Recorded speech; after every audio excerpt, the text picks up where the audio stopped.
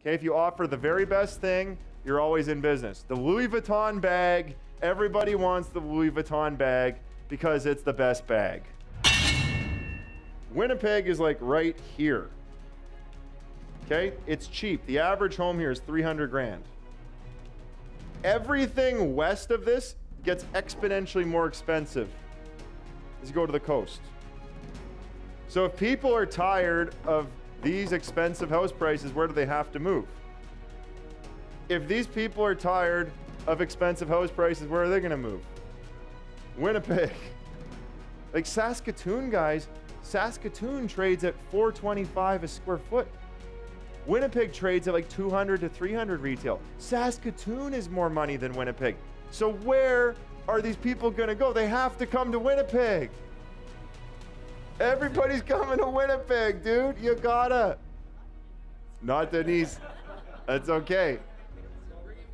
But guys, like think about it, right? If it's the lowest price thing, eventually like people just have to get that. Two places in the market that are always good, the very top and the very bottom. Okay, if you offer the very best thing, you're always in business. The Louis Vuitton bag, everybody wants the Louis Vuitton bag because it's the best bag until you start getting to those like $30,000 bags, it's like a whole nother level. Uh, people don't, the girl doesn't even know the brand because it's so hot. Hermes. The Hermes bag. Is that the $30,000 bag? On sale. There you go. Like, there you go. So the Hermes bag is 30 grand. The Louis Vuitton, that all everyone has the cheap Chinese version, and then you know I got Tara the real one. She was so happy because she had the real Louis Vuitton. It's like two grand for that bag, right? And then what would be down from there? Coach, 500 bucks.